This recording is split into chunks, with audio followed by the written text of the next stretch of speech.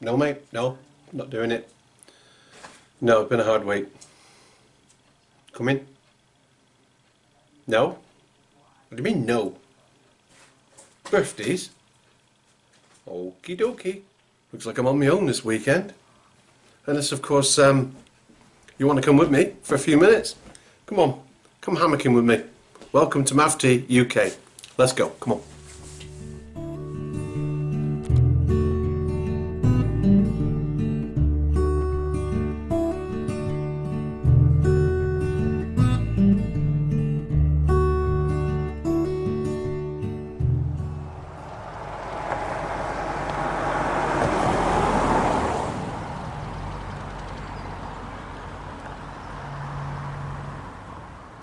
That didn't take long, did it? Let's get our kit on, let's get up this hill, and let's get set up.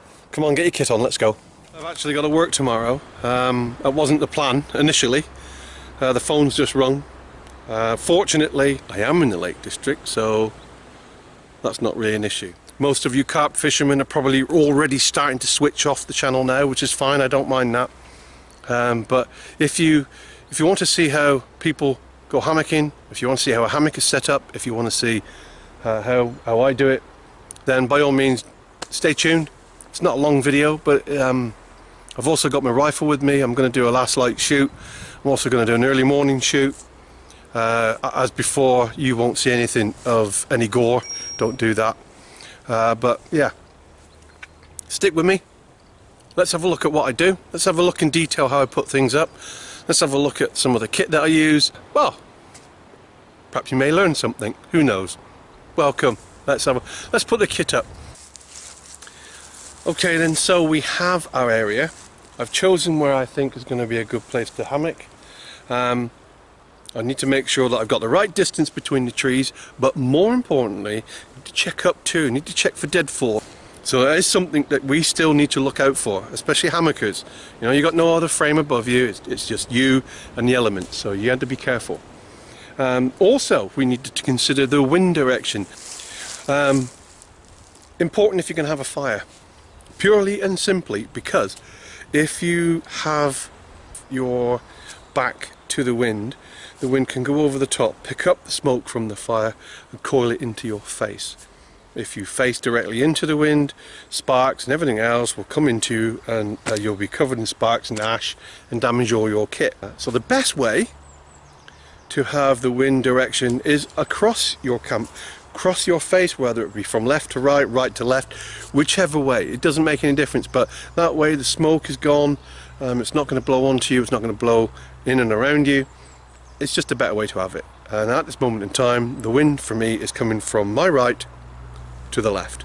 And that's where I'm going to hopefully get my hammock pitched up between here.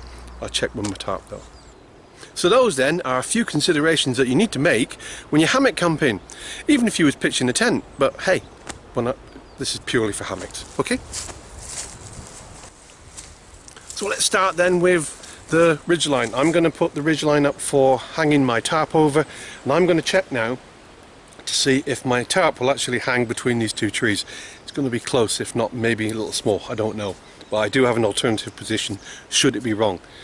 So I'm going to show you a couple of knots. Um, one of them I call the, uh, and is commonly known as the Ray Mears knot. It's not the Ray Mears knot, there is a proper name for it, but I don't know what it is. And it's a quick release knot, and it's ideal for hammock camping and, and, and putting up your, your guy lines and your um, ridge line. And then um, to get a good tension, I really do like the trucker hitch. Um, it can damage your line a little bit if you use a trucker hitch but it really is effective and, and it's one of my favorite knots too. So that's the two knots I'm going to show you first of all. So there we are. Our working end. Give yourself about 500 mil plenty of room. Lay it round. Grab hold the other line. Come round with those two fingers grab the working end pull it through and tighten your knot.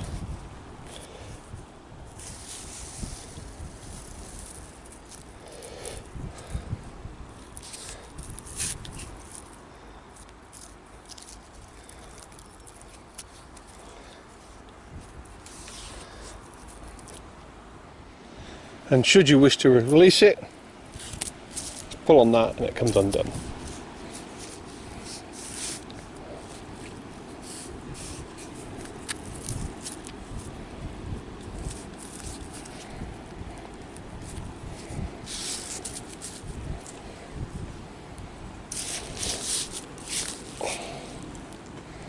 Okay, now we'll go on to the other side and the trucker hitch.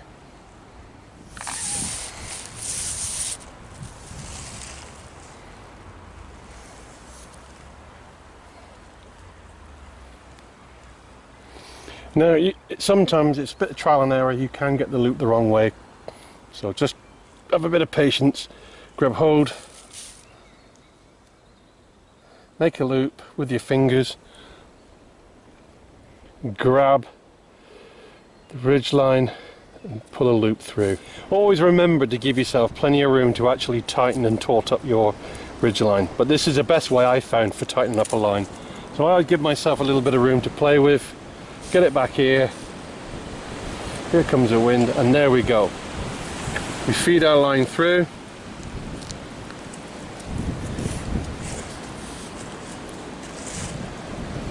You see that okay? and then we tighten it up.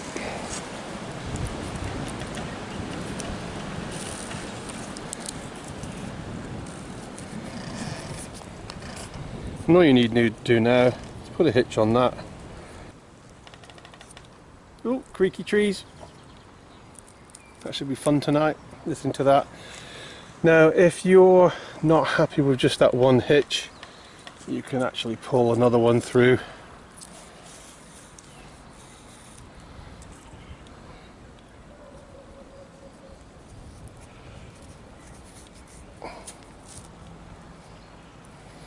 give you double bubble. Now I'm going to throw the top over and using a couple of prusik loops and a couple of small carabiners I'm going to tighten up my tarp and get it the right tension. Hopefully I'll have enough room on here.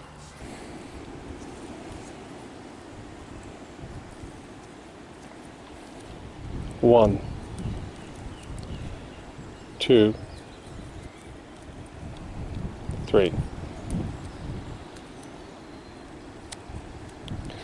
keeping it nice and tidy on the ends. Tighten the knot up.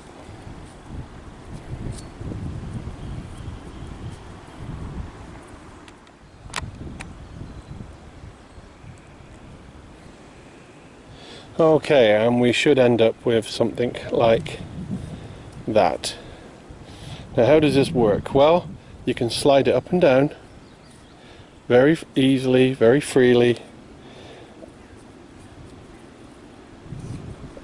quite freely no problem at all but as soon as you put tension on it it will bite and you will not pull it. That's a really good strong grip. So there you go. Classic loop. Was a good idea to keep them nice and tidy too. You know you've got it right when it looks right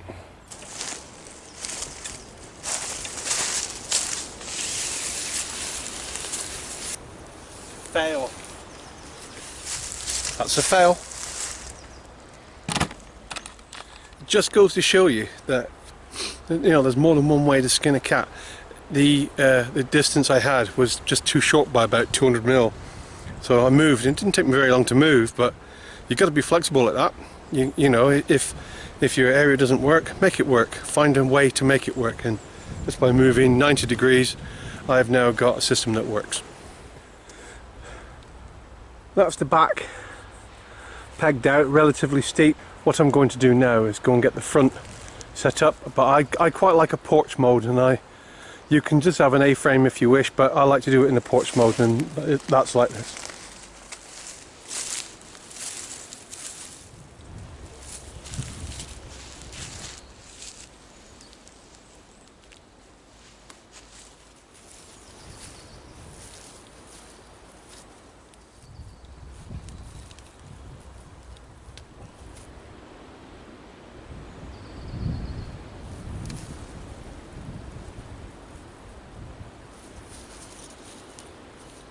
Now I've got it in porch mode you can see the much steeper back and uh, a good drop on the porch as well. I think it's going to rain tonight. Even, although the forecast says no um, I'm just going to play on the side of caution. I'm just going to have quite a steep side because I want to make sure that uh, I don't get wet because I've got to work all day tomorrow. So there you go, that is a really good effective shelter. So what do we do now? Well, uh, I've got my tarp up, I've got the good angles, I'm quite happy with it even though it's on a slope.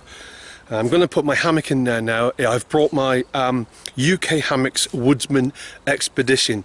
Uh, it is uh, a very, very good hammock. Um, I normally would bring my um, 10th Wonder 3 meter black hammock, but uh, this, this is this is a good hammock too and it has a mozzie net on it and although we're not really inundated with bugs this time of year not yet uh, is I do like it. I, you know it's a nice comfort good comfy hammock.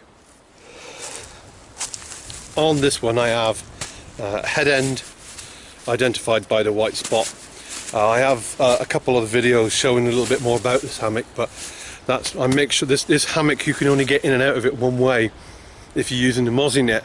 And you don't want to be facing that away when you need to be facing that away so it's very important to get this bit right. So let's get this bit right. I know which end my head's going. Before we continue with that let me show you what I have on the end. We have tree huggers. This stops you actually damaging the tree. They have some very very good micro carabiners and they are quite expensive. I think it's 17 pound a pair but they even take my lard butt so uh, yeah I like them I have my homemade marlin spike basically you could use a twig this is for various different ways to hang the hammock and my whoopee sling you may hear whoopee sling mentioned quite a lot and you not know what a whoopee sling is it's a very very strong uh, fabric, man-made fabric, and Amsteel. Well, it's like steel. You can tow a bleeding car with this. This is 1 8 Amsteel. This can take some serious weight, and I don't even register on its Richter scale, and, and, I, and I need some. I'm a big lad, and I need one seven will do, perfectly adequate. But you know, I just want to be comfy, and I just want to make sure it's not going to snap. So I go one up. There you go. Uh, well, besides all that what do you do the, the, the, tree huggers protect the tree I put them on first and then uh, string my hammock out and, and take it from there and then we adjust from there. So let's do that shall we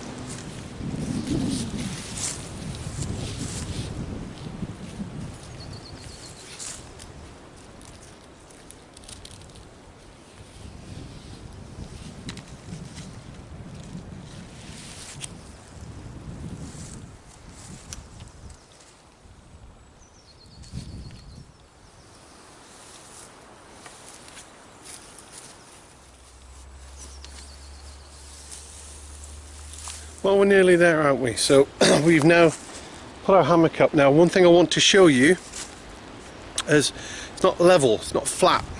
Let me take you around to the side. So looking inside, you will see the orange internal ridge line, which is structural, um, is running uphill. It's meant to. My feet that end, my foot box here, and this way it stops me getting a calf ridge in the middle. I'll explain more about that later. I'm now ready to put my underquilts on. I'm now ready to put my top quilt in, get them all fluffed up and migrate the down. Uh, if you're not sure what I mean by that, um, Shug Emery, who I'm a big fan of, uh, will shake, move the down inside his quilt covers and everything around just so that you get an even spread and even coverage. So there you go, that's what they mean by migrating the down. Just shaking it and spreading it about again inside. Okay, let's get that on. My um, golden underquilt. Uh, I, I, I, must apologise to Wallhiker. I did promise you I should make a video showing you how to make this bag, to how to make this bag, and I haven't done that yet. And I apologise. And I know I did promise I would do it, and and I haven't kept my promise. And I, not like me at all. I will do your video for you. Um, uh, this this underquilt itself is terrific. I don't know anybody who would go from a pad to an underquilt back to a pad again. I've never met anybody that would, and I don't know anyone that has. Once you go, once you go to an underquilt, I think there is no no going back for comfort, sheer comfort. Although you do need to know how to set these up properly. Um, there was a, a chap who looked at my videos and I made a modification to this one where I simply added a uh, secondary suspension and he'd struggled up to that point. Oh I feel the warmth. He struggled up to that point uh, getting cold spots underneath him. And he followed the modification that I did. And hey presto it worked a treat. And that really really pleased me. I, I was I was really pleased about that. That that is like you know everybody likes to help somebody. And, and I, I obviously at that one occasion helped somebody do or uh, make their equipment more better. And it was so simple to do and, and I, I like that. And so I was really pleased. That really gave me a good buzz. Um, and it makes me want to do more videos unfortunately for you. So here we are. Give it a good shake get a bit of air into it. It's only held on with elastics no other clips don't need any other clips by purely the way I've got my hammock set up and I clip it on like this.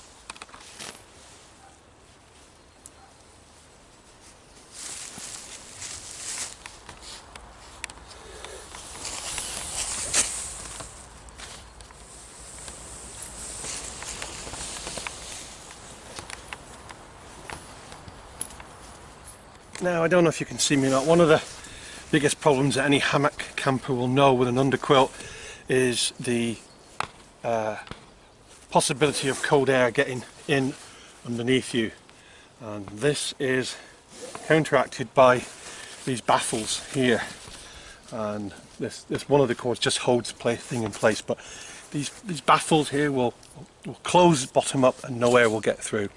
And that's one of the things that you, you, it can be sometimes difficult to get right.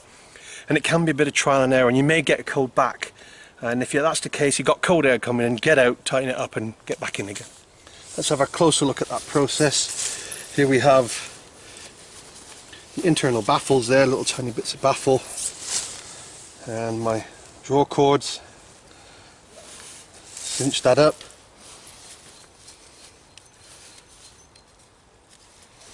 Cinch that up.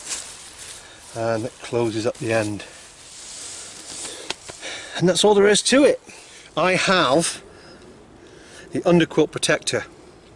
And it's just an oversheet another argon oversheet.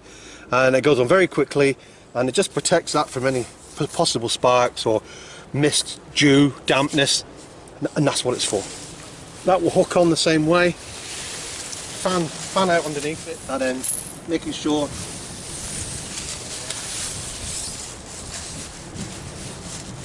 that's encasing your gear.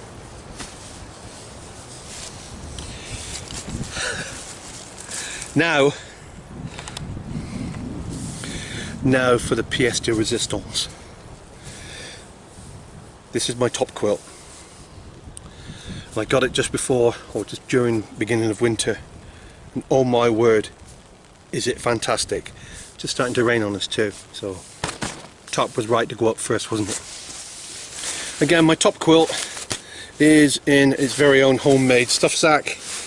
Uh, different colour, so I really can't mistake which one is which. But more importantly, that's black. This is, and I hate to use the word, but I'm to, awesome. The heat I get off this, because I got extra fill in it, is tremendous. I, it is totally, totally awesome. I love it to bits and it's one of my favourite purchases of last year, this year even, you know. Beautiful, the warmth, when you touch it, it's incredible. And that's that. Let me tell you a bit about top quilts. So, what is a top quilt? Well, it's just like your quilt at home, only better. A top quilt is an open sleeping bag, for want of a better word. And because you have an underquilt, when you pull the top quilt over the top of you and you just tuck it into your side, it envelops you in down. You're, you're completely surrounded in down. And it's just so warm. Um, you're floating in air in a down bed. You really are floating in air in a down bed. And it's so comfortable. In this hammock is is and have been some of the best night's sleep I have ever had. And I'm going to have a cracker tonight too. Uh, and I know that once my eyes close, that's it. What you can't do with this system is sit down and just lie down for 10 minutes. It doesn't happen in this system. You lie down in this, you're going to sleep. What's next? Well, I've got my hammock set up. I'm going to be dry should it pour down any minute now. Uh, I know I'm going to be comfy. Uh, I got to cook my tea and I'm going to prep my weapon. I've got my rifle with me, I think I said. And uh, once I've had something to eat, and I'll have a walk out before last light, a couple hours before last light, and see if there's anything out there that needs removing. And I will come back, have a good night's sleep, set the alarm, get up bright and breezy, do another shoot, and then I've got to go to work again. I uh, didn't really want to go to work, but they are. Needs must. Roles and responsibilities, that's all I can say.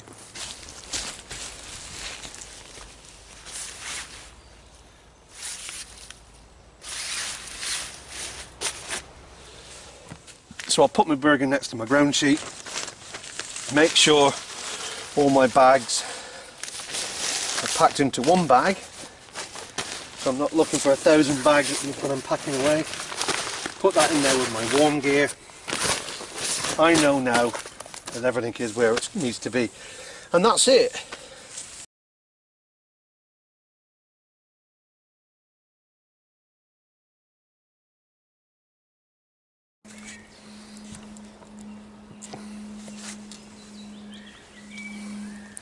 So we're going to be prepping or getting some wood for a fire. Um, Anyone who knows anything about fires will know that you have to use dead wood. You don't want to be coming into a wood and start cutting down green wood and start burning that. Although you can eventually. Uh, once your fire gets hot enough it will burn practically anything. But it's not what we do, you burn dead wood.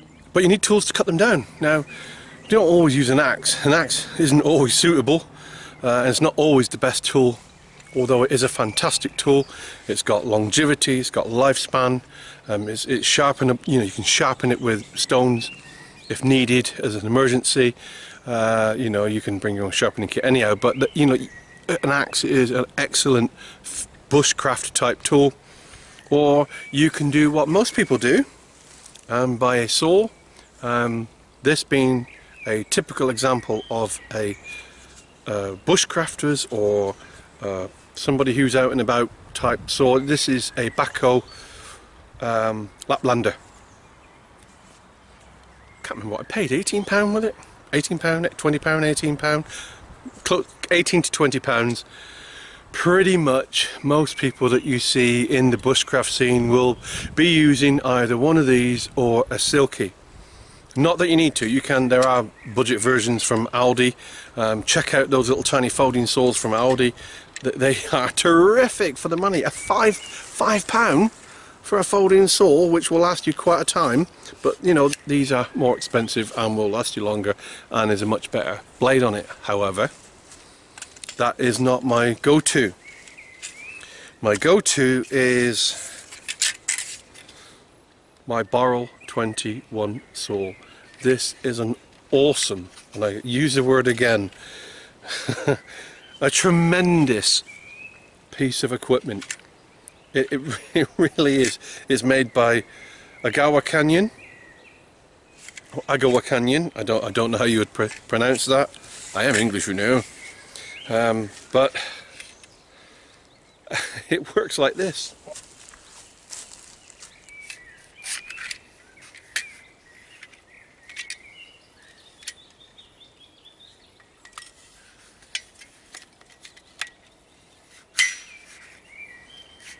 A folding bow saw.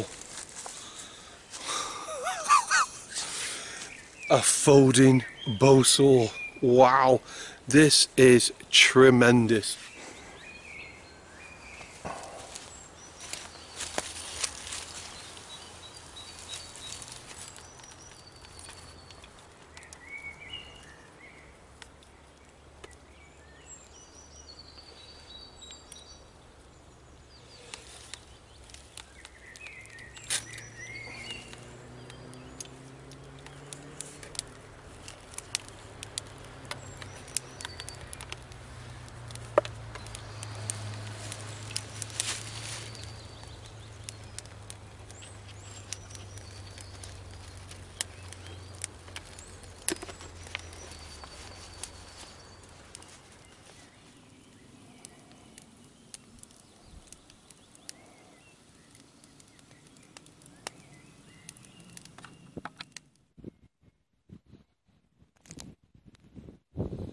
Oops. That wasn't me. Let's have a look where I am. I've just told the farmer he's lost a sheep.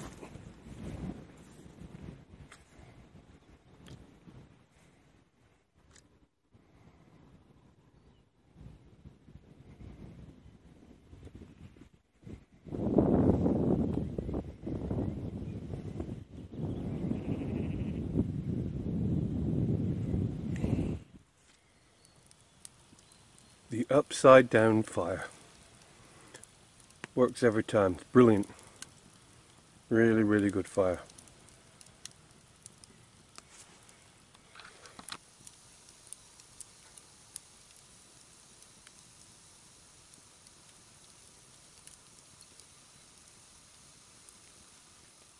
Let me start from the beginning.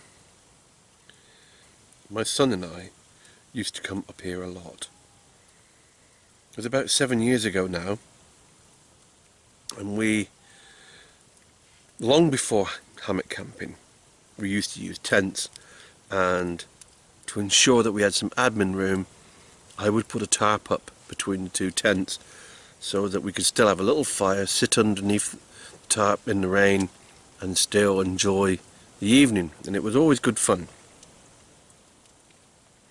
But just to make sure that Alex, if he ever wanted to go for a wee in the middle of the night, I would hang a couple of chemical lights up, you know, snap lights, and he would be able to see, always find his way back to his tent should he need to. And there was always a little bit of background light and ambient light. And we turned in for the night. Now I can't remember it was the first night or the second night, I really can't remember. But it doesn't matter because during, from my sleep I was suddenly awoken. And I was woken by this so intense bright light it was really really really intense although it was intense. Or, oh, or intent. Really really bright light. Uh, I just woke up I, I thought what on earth is that outside I called to Alex to see, you know, if it was Alex. I said, ah, Alex, is that, is that you, Alex? Nothing. I shouted again, Alex, is that you? Because I think, oh, thought it was Alex with his light. Now, through the walls of my tent at that time, I could see left one chemical light, right one chemical light, so I could see the two lights. But in the middle was this really, really intense, bright, orange glowing light that I could see through the tent, the wall of the tent. Wow. I have no idea what it was. Um, I, I thought it was just Alex. I, I, so I was calling to Alex, nothing. And you know when you, you know, you see in the movies when people rub their eyes and go, you know, to try and take a second look. I genuinely rubbed my eyes to see a second look. I, I couldn't figure out what I was looking at. But through the walls of the tent I could see a swirl, a swirl like, uh, like, like milk and water, you know, that cloudy, swirly type effect. I could, I could see that. And, and, and I wasn't, I just couldn't figure out what it was. I wasn't bothered, I wasn't frightened or nervous or anything. It, it, it, that wasn't it at all. And I, I wanted to see it. I wanted to see it. Out, I wanted to see it from, my, you know, through the, out of the tent. So I started to unzip the tent, and as I started to unzip the tent, it started to fade, and and, and I never got to see it. But because by the time I got out, it was gone, and it literally just wisped away.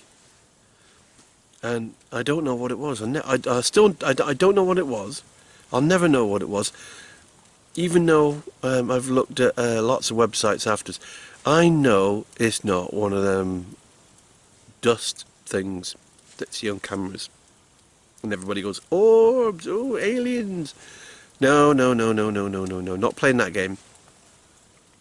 This is a natural phenomena, and I don't know what it was. I think it was a, uh, perhaps a ball lightning, something like that, that just, whatever reason, had managed to just go between us. I, I don't know. It was in between me and Alex in our tent and underneath the tarp. Never seen anything like that before. Probably won't never see that again. I don't think it's anything uh, supernatural or anything like that. I don't I don't go down that road. I'm totally not into that sort of stuff. Uh, I do believe it's a natural phenomena, and I think personally it was ball lightning. But if anyone's ever had a similar experience, hey, let me know because I thought it was fantastic. I wanted to see more, but unfortunately I didn't get to see it. So there you go. My experience with ball lightning, or um, as I like to say as a bit of a joke, orbs.